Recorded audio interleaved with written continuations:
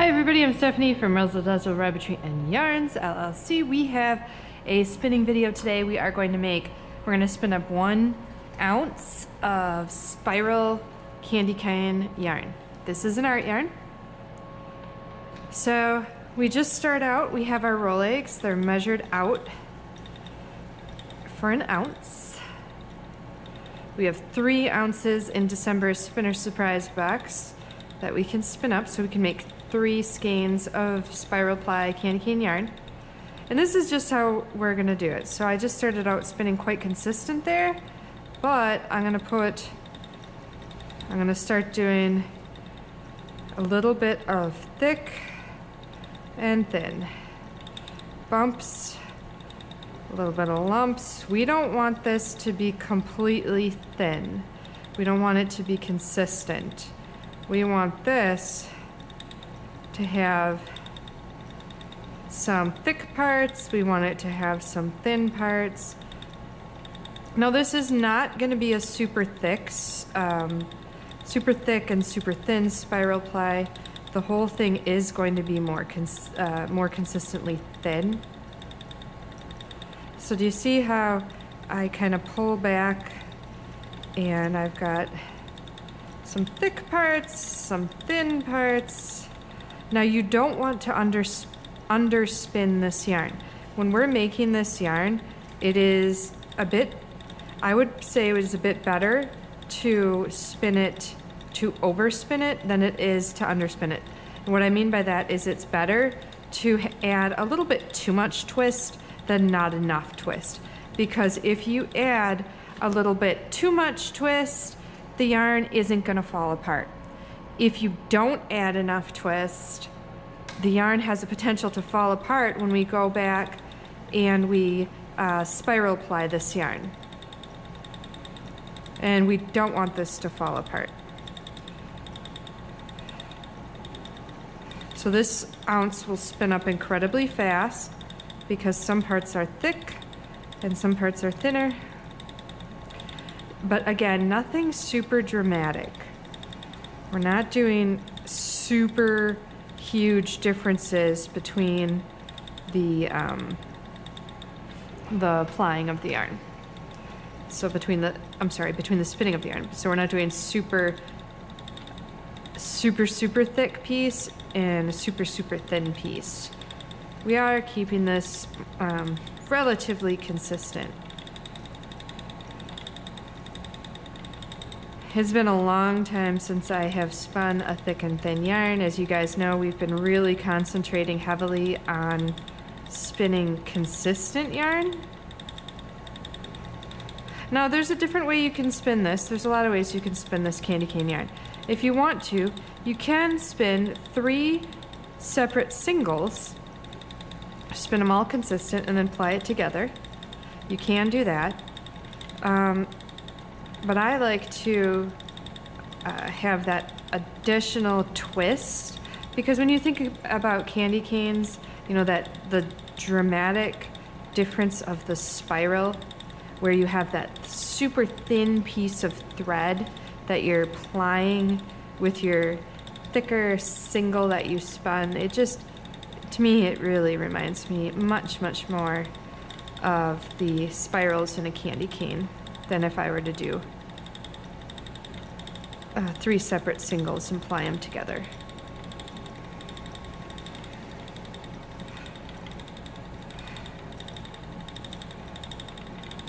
Piece of paper in there from my office.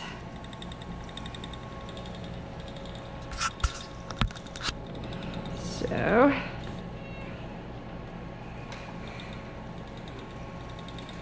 we just keep spinning. Second in there. That is okay. We just pick it out when we see it. That's a pretty thick piece. Kind of thin that out a bit. And we're almost to the end of this rolag. I'm gonna get another piece. So when I'm grabbing the pieces, it's kind of at random. Um, I'm definitely trying to not grab a piece that has a lot of white in it and then another piece that has a lot of white in it. or a piece that has a lot of red in it and then another rolag, you know, that has another, a lot of red in it because I do want there to be a, I do want there to be some difference. So I want there to, I want it to be like white, a section of white that's predominantly white and a section that's predominantly uh, a bit more red in there. So I do want, um, I do want that dramatic change in the yarn. I forgot how fun this was to do this. It spins up so fast compared to when you when you're spinning yarn like this. It spins up so fast compared to when you're spinning a thin uh, single and you're trying to spin it consistently. Because because this, we're not paying as much attention to correcting any lumps and bumps. We want those thinner sections and those thicker sections. We want that variety because it makes an interesting yarn.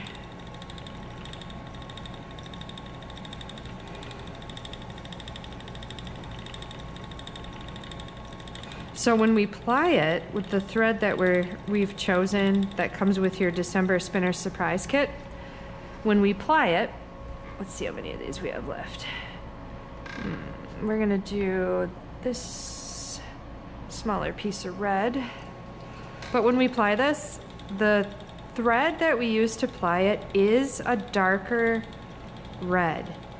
And so that's, you know, it really, it's not just two different colors, this yarn this yarn has the depth of just a, a variety of colors, which is super cool.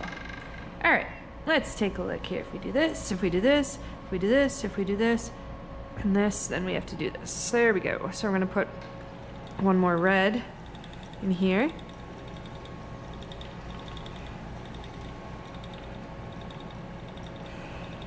And we definitely need to pay attention to our tension.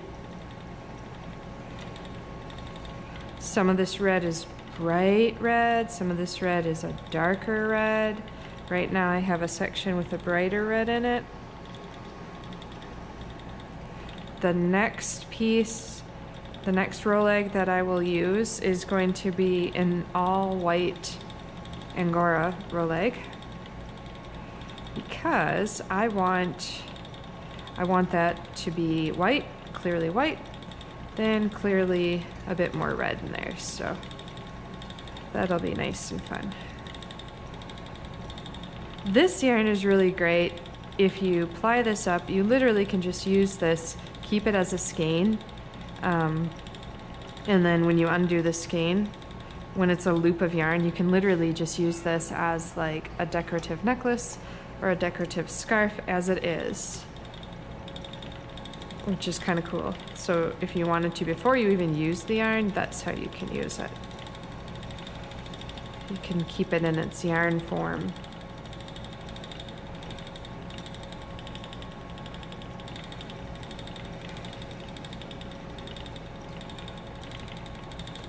I have the, it's very tempting for me when I'm spinning like this. It's very tempting to just um, all of a sudden start spinning it all consistently, all one width. So I have to pay a little bit of attention here to that urge. This is a sort of yarn, if you can't spin yarn super consistently yet, this is a wonderful type of yarn. If you if you already spin things that are a little bit thick and a little bit thin, um, this is a great yarn to um, the great yarn too. Just kind of mixing those up. To spin up, if you naturally uh, don't have the skills uh, perfected yet for spinning completely thick, or I'm sorry, completely consistent yarn.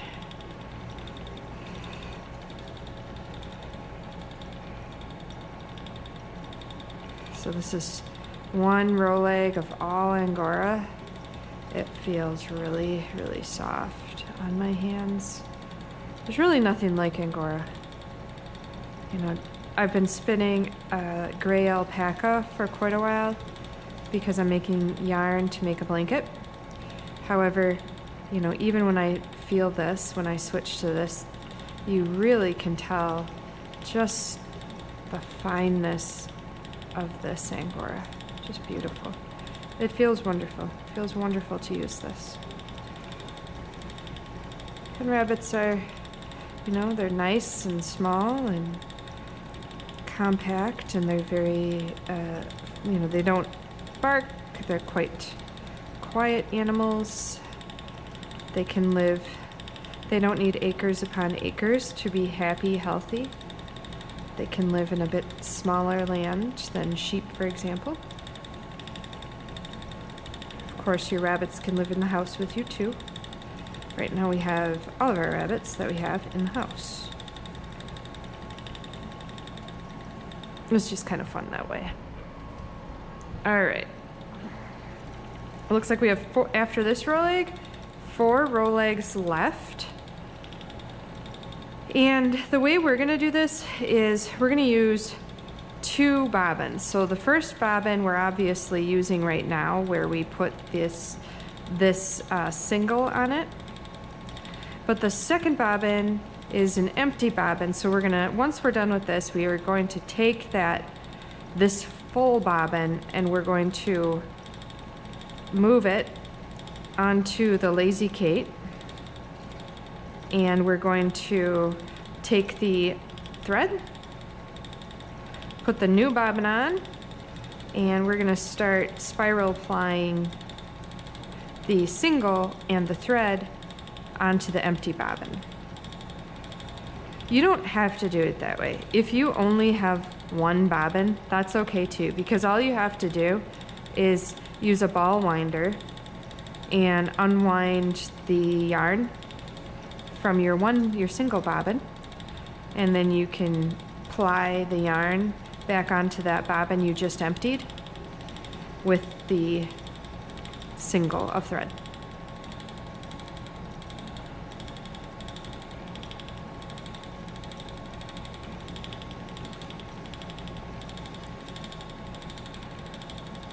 When I look at this, I think, um, when I look at this fiber, I think automatically like this makes if you have gift packages with uh, Christmas packages or holiday packages, and you want something decorative, like a decorative um, ribbon on the outside, you could use this as instead as a decorative yarn on the outside of your package. This is pretty fun to, to hang ornaments up. It's just pretty fun in general to make really anything with. So if you want to make a Christmas stocking or if you want to, if you have a candy cane pattern, this is perfect to, to use for the yarn. It's just super fun.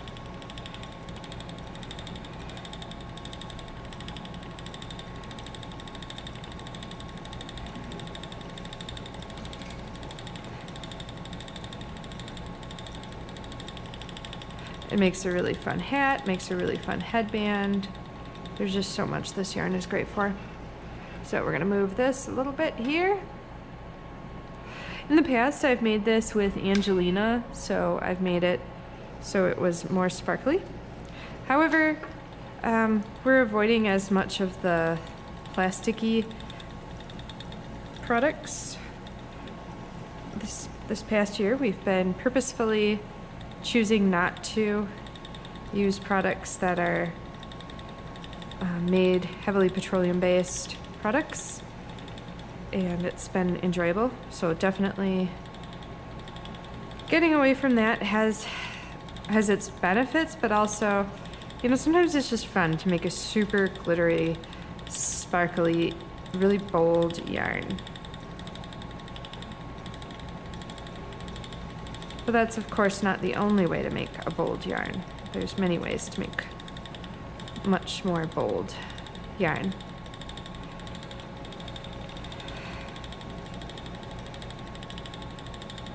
So,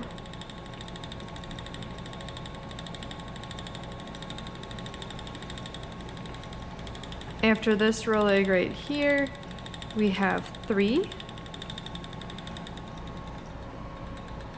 This is the third to last rolag in my hand that I'm just joining on.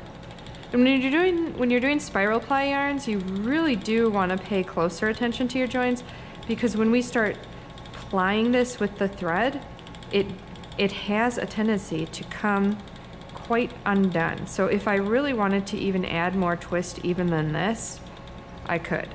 You don't want to spin a perfectly twisted, perfectly balanced yarn. You, you would prefer it to be a bit over twisted. We've covered that already.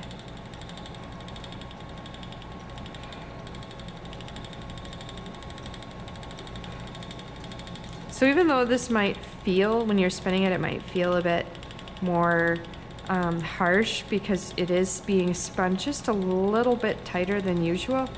Again, when we ply it, it really loosens this up. It opens everything up. And so it's just, it becomes much softer again. Definitely need to adjust my tension.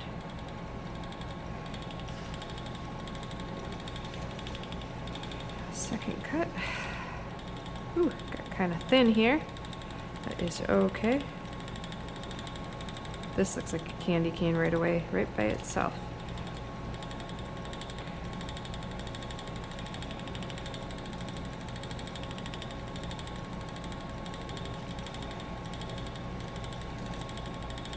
It's a pretty big section. So one of the reasons why I'm not spinning this super thick and super thin is because I'm using the Ashford Elizabeth II spinning wheel.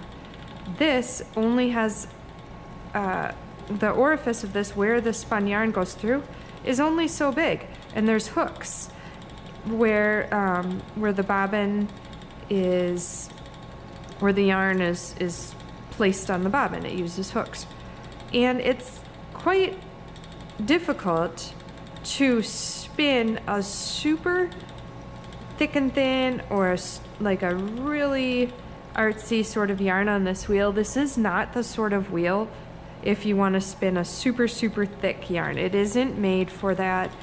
And this is not where this wheel, uh, that is not where this wheel excels. This wheel excels making consistent yarn. And so this, oh, a little bit of second cuts, this wheel can make a spiral